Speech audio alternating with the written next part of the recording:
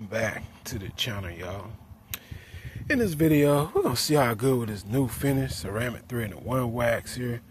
Do on my big boy jeep monster truck jeep cherokee.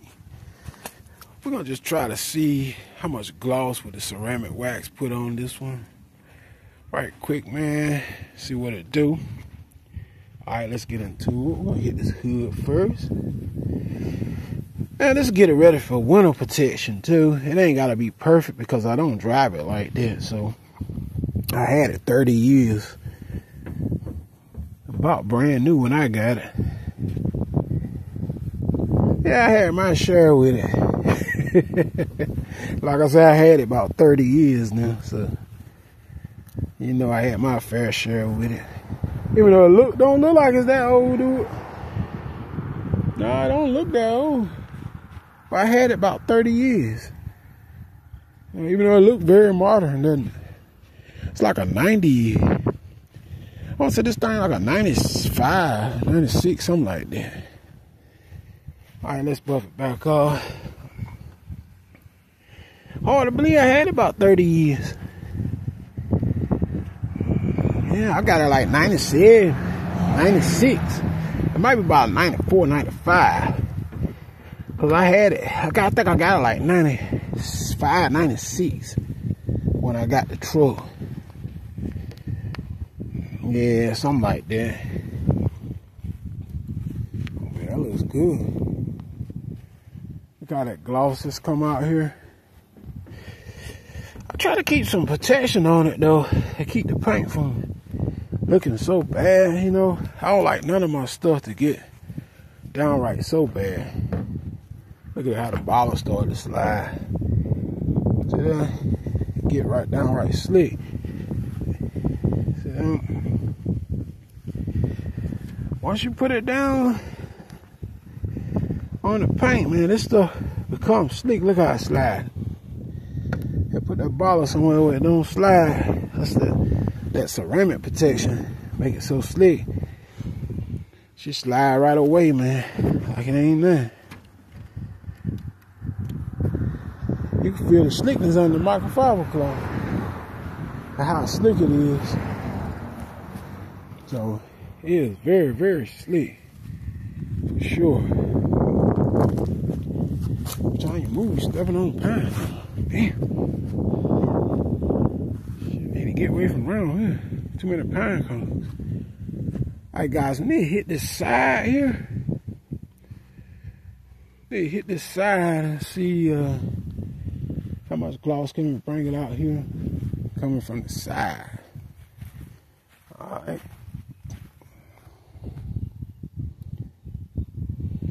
Put a little bit on the applicator. So I do a zigzag. This is the three and the one ceramic Nu Finish. It's the new wax here. See that? It's ain't that old school wax that you thought you were dealing with what I do when I use this wax, and when I put it up there, I immediately get it off. I think it works best if you go and get it off.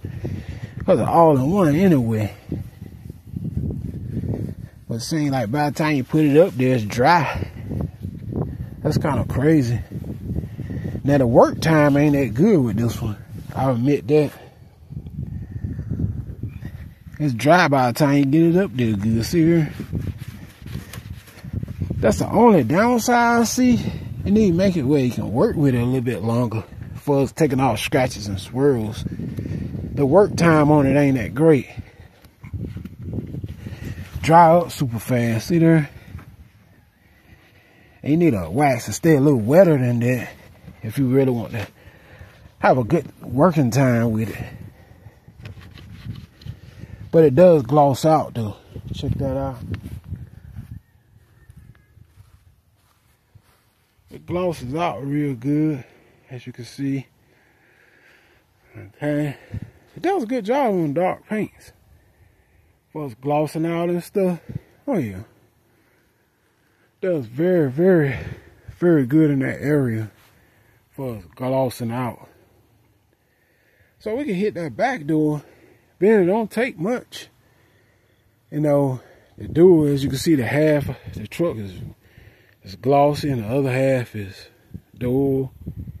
You know, so it's doing the trick. It's actually bringing the truck out. All thing you really would have to do, basically just hit the tires and stuff. And once you hit them tires and stuff, you good, man.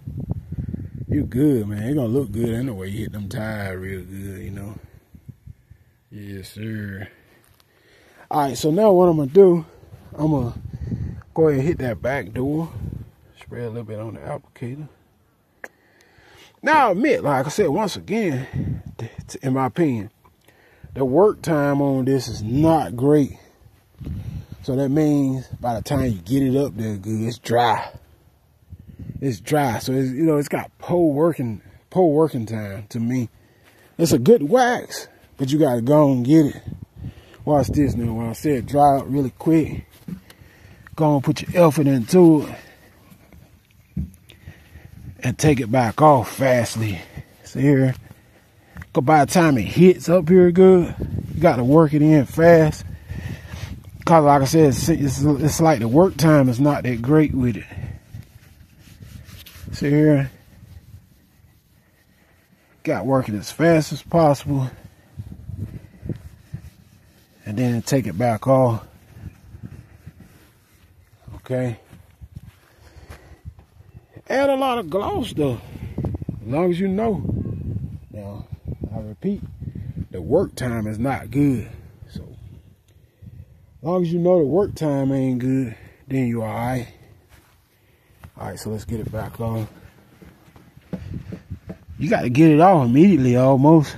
Like 30, 45 seconds. Works best that way to me.